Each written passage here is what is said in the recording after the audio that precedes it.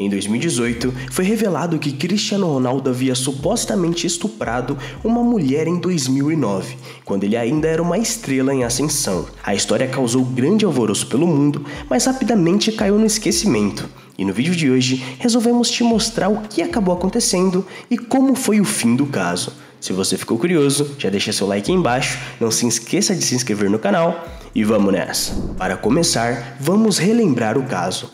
Kathleen Maiorca alegou que Cristiano Ronaldo a forçou a fazer sexo no dia 13 de junho de 2009 em seu quarto de hotel em Las Vegas, apesar de ela ter rejeitado as investidas dele. Segundo relatos, o caso foi encerrado com um acordo. Cristiano aceitou pagar 375 mil dólares para que a vítima não levasse o caso a público.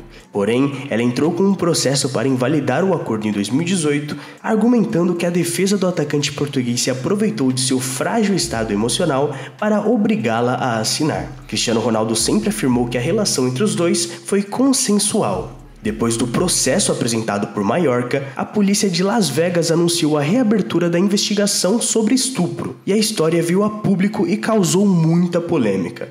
Mas a verdade é que rapidamente caiu no esquecimento, e hoje, dois anos depois, o pouco que se sabe é que a acusação foi retirada do Tribunal Estadual de Nevada em maio de 2019 e nunca houve um esclarecimento de que se houve acordo entre as partes. Os advogados da ex-modelo nunca comentaram sobre a retirada da acusação. A polícia de Las Vegas, que reabriu a investigação, também não fez nenhuma declaração. E esse foi o nosso vídeo de hoje. E aí, você já estava por dentro dessa história? Comenta aí pra gente saber. E esse vídeo chegou ao fim. Se você gostou, não se esqueça de nos avaliar deixando seu like aí embaixo, porque é muito importante. Se você é novo por aqui, se inscreva no canal e ative o sininho para receber todos os nossos vídeos. Muito obrigado pelo seu acesso e até o próximo vídeo.